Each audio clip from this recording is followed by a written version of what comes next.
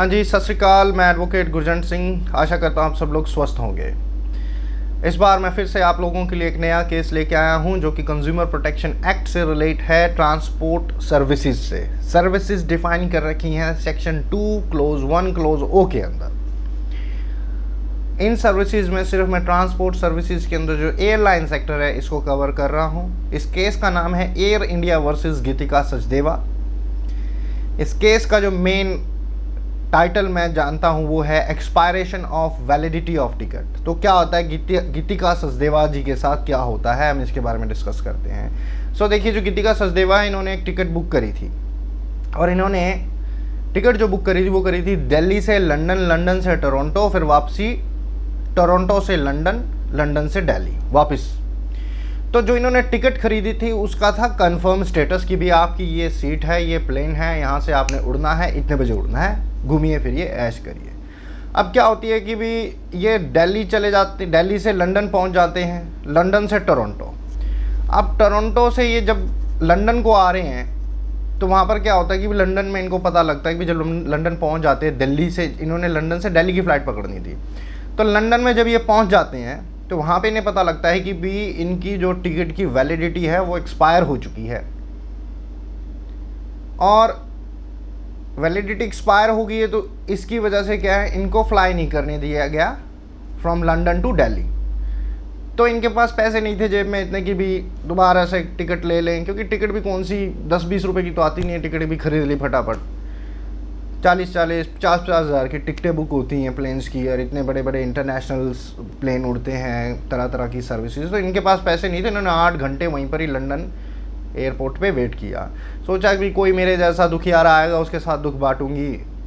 हम दोनों साथ हो जाएँगे, पर इनको कोई नहीं दिखा। तो कुछ आठ घंटे बाद इनको एक पर्सन दिखता है, जिसको सेम ही ग्राउंड्स के ऊपर लंदन से दिल्ली के लिए बोर्ड करने के लिए मना कर दिया जाता है कि भाई आप नहीं जा सकते, आपकी टिकट की वैलिडिटी एक्सपायर हो चुकी है। अब मैडम के पास पैसे तो थे नहीं तो इन्होंने उस पर्सन से पैसे उधार मांगे और टिकट खरीद ली दिल्ली के लिए। अब लंदन से ये दिल्ली पहुँच गए।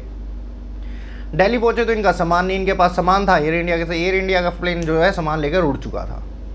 तब इनका सामान इनको मिल नहीं रहा। बहुत टाइम इन्होंने मतलब जद्दोजहद करी कि मेरा सामान मिल जाए, नहीं मिला। बाद में पता लगता है भाई आपका सामान मिल गया है और उसके लिए आपको six hundred sixty five rupees pay करने पड़ेंगे। इन्होंने पे कर दिए भाई चलो ठीक है, सामान तो मिला। बाद में देखती हूँ इनको, भाई ऐसे क्यों पे करने पड़ेंगे?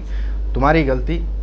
एक तो तुम टिकट दो, ऊपर से वैलिडिटी वैलिडिटी भी तुम कंफर्म करो और फिर बाद में कह रहे हो कि भी एक्सपायर हो चुकी है टिकट। ये क्या मतलब?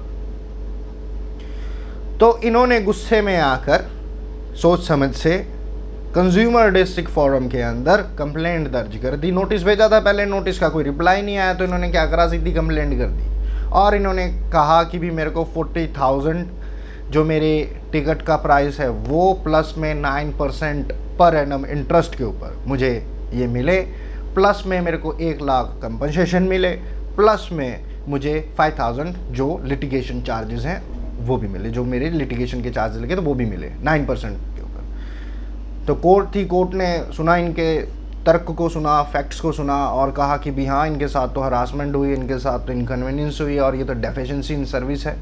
एयर इंडिया की पूरी ज़िम्मेदारी बनती है। कि भाई अगर पर्सन वापसी की टिकट बुक कर रहा है, कि भाई दिल्ली से लंदन लंदन से टोरंटो टोरंटो से लंदन लंदन से दिल्ली वापस आ रहा है, वापसी की टिकट बुक करेगा तो ऐसे कैसे वैलिडिटी एक्सपायर होगी? डेफिशिएंसी इन सर्विस किसकी तरफ़ से एयर इंडिया की तरफ़ से डेफिशिएंसी इन सर्विस थी, जो क्लेम इन्होंने मांगा था, वो उनको कंपनसेशन मिल गया, और ये केस गए जीत तो अब आप मुझे बताइए, क्या एयर इंडिया नेग्लिजेंट थी in deficiency of service comment box में कमेंट करके बताइएगा। अगर आपको ये जानकारी लाभदायक लगी हो तो मेरे चैनल को सब्सक्राइब कर लीजिए, बेल आइकन को दबा लीजिए फॉर मोर अपडेट्स कोई क्वारी हो तो कमेंट बॉक्स में कमेंट करके आप क्वारी पूछ सकते हैं अपनी। मैं जल्द से जल्द जवाब देने की कोशिश करूँगा और वीडियो अच्छा लगे तो लाइक भी कर दीजिएगा। आशा करता हूँ आपको ये जानकारी लाभदायक लगी हो। मैं advocate Gurjant Singh. Thank you